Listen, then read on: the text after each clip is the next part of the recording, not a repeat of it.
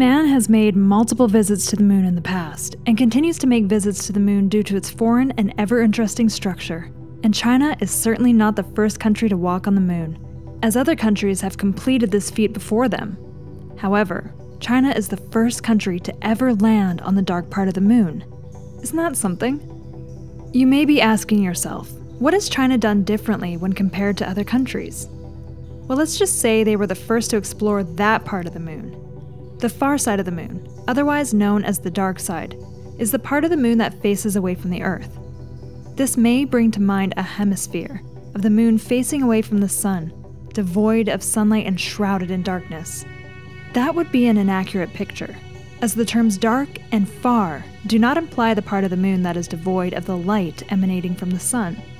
The moon orbits the planet every 27.33 days in an elliptical path, and eventually passes between the Earth and the Sun during the new moon phase.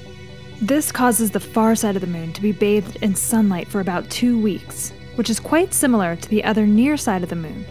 Both parts are designed to receive an equivalent amount of sunlight and an equivalent amount of darkness. While a certain part is being bathed by the sun, the other side is enveloped in darkness, giving two weeks of darkness and two weeks of sunlight. Why have other countries not explored this part of the moon before? While some countries like the United States and Russia have planned and executed numerous trips to the surface of the moon, manned and unmanned, it has never been proposed to send a spacecraft to the far side of the moon and land it. Complications arise, in that case, due to the phenomenon of tidal locking, the fact that the moon always has only one side facing the Earth.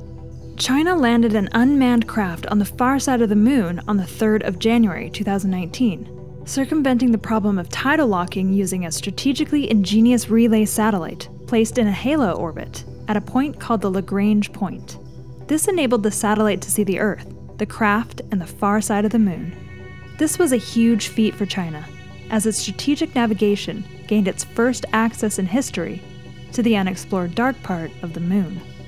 When China announced plans in 2016 for a trip to the far side of the moon, speculation and conspiracy theories abound within space science and political circles. While no official reason was given, it was implied that China was merely participating in the Asian space race to carry out normal research and analysis. Japan and India are known as competitors in the Asian space race. A lot of people were skeptical of this, though, and many assertions were made that China prioritized focus on the mining of resources from the moon, particularly lunar water and helium 3. Why would China be interested in mining helium 3 from the moon? Helium 3 is an extremely rare form of helium which is very hard to come by on our home planet. It is projected to be extremely useful, and due to its rarity, is very expensive, which brings us to the next question. What makes this form of helium so different? Well, helium 3 is an isotope of helium that has two protons and one neutron, as opposed to the normal form of helium, with two protons and two neutrons, which is used in inflating balloons. Although helium 3 is a lot more useful than that, the state of nuclear energy production on Earth has been pretty dicey, with a lot of complications and expenses surrounding it including but not limited to the rate at which radioactive waste from the fission of nuclear materials are produced and their difficulty in being disposed of. Most reactors also use nuclear fission, as opposed to nuclear fusion, which does not have the problem of decay heat and only needs a small number of nuclear materials to be present in the reactor at various instances. In nuclear fission, you shoot neutrons at heavy atoms, thus breaking them apart, which free energy could be used to heat water and produce electricity via a dynamo. An interesting fact is that it also frees neutrons, which again breaks other atoms, freeing energy and neutrons, and so on. Uncontrolled, this continuous chain reaction can produce enormous amounts of energy in a very short time. That is basically what happens when a nuclear bomb is detonated, or if a nuclear plant gets out of control. In nuclear fusion, you have to push light atoms together with magnetic fields until they fuse, which also frees energy. It is important to make sure the pressure does not drop if you want to free energy. Another thing is that collapsing of the magnetic fields will cause a malfunction, which can cause the reaction to come to a halt. Nuclear fusion is still far from being a commercially viable option for producing energy at a large scale. However, it is cleaner. Countries all over the world are hoping and working on creating a reactor powered by fusion. When that is done, helium 3 is going to be high in demand. This is because, in the process of trying to make nuclear reactors powered by fusion, scientists eventually used deuterium and tritium, which are isotopes of hydrogen with considerable abundance on Earth. Helium 3 entered the picture when it was found that adding small amounts of the isotope of helium into the reactor made it more efficient by large. Apart from nuclear fusion, what other uses can the awesome element implement? Helium 3's amazing abilities are not limited to just nuclear fusion. It is used for a whole lot of other things. It is a very important isotope used in neutron detection. How does it do this? It has a high absorption level for neutron beams, and also has utility as a converter gas in forensic instruments. This can be used for the detection of plutonium and can be useful in stopping terrorist attacks. Helium 3 also has use in cryogenics, which implies that it has been proven to be able to reduce the temperatures of substances to very low levels. The element is also very significant in the medical field via its use in medical imaging. Helium 3 highly enhances the chances of doctors being able to view the lungs in various disease conditions, like chronic obstructive pulmonary disease, cystic fibrosis, bronchopulmonary dysplasia, and asthma, which is an occurrence in little kids. Helium 3 is especially important when it comes to MRI. Although regular MRI gives doctors a chance to have a look at body parts like the brain and heart, you cannot use it to see the lungs. This is majorly because the lungs are occupied by air, which has a lower density than fat or water. This will dampen all the signals that allow imaging to occur. To curb this issue, the person concerned can inhale hyperpolarized gas.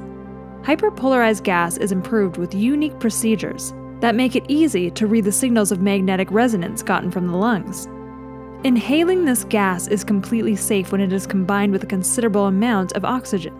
Helium 3 is the kind of gas that can undergo hyperpolarization because it gives off a powerful signal. It is easy for the MRI to detect the gas present in the lungs and airways, allowing us to see what the structure of the bronchopulmonary tree looks like. And it can do this in the spur of the moment. And that means whoever has the biggest stash of the isotope gets a whole lot of money. How valuable is this element? The value and importance of helium 3 can't be stressed enough, as the element is very useful in various aspects. The element is extremely rare on Earth, as mentioned earlier, but is considerably more abundant on the far side of the moon. On Earth, its abundance is somewhere around the range of 0.000137% to 0.0002%. However, on the moon, space scientists have set estimates of the isotopes at numbers exceeding 1 million tons. On lunar soil, known as regolith. The rarity of this element has immensely affected the price of the element. It is said to be worth millions of dollars per 100 kilograms. If we compare the amount of helium 3 on Earth to that on the lunar surface, we might wonder how did the moon get to have that immense amount? That is a very valid question and can be answered simply. Helium 3 has been deposited on the upper surface of the lunar soil for over billions of years by solar winds.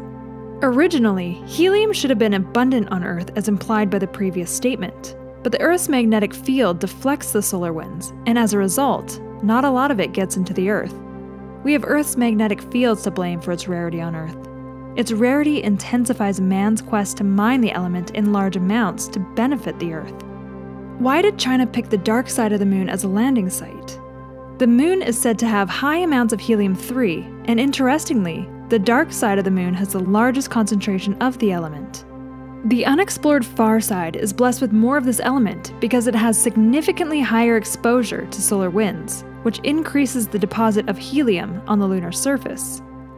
As earlier stated, the effect of solar wind causes the deposit of helium 3 on the lunar surface, so the higher the effect of the solar wind, the higher the deposit of helium 3. Subsequently, it is no wonder if the massive concentrations of helium 3 proved to be a factor in China's landing site decision. Who knows what else they might stumble upon in their exploration, as the moon is a huge satellite with many mysteries that have not been uncovered. As China gave no explicit explanation on its main goal for exploration, we are all eager to learn more. What will be the results of China's exploration of the dark side of the moon? Will they be able to harvest enough helium 3 to improve life on Earth? We are all itching to find out.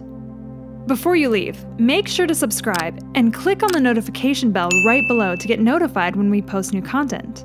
Thanks for watching!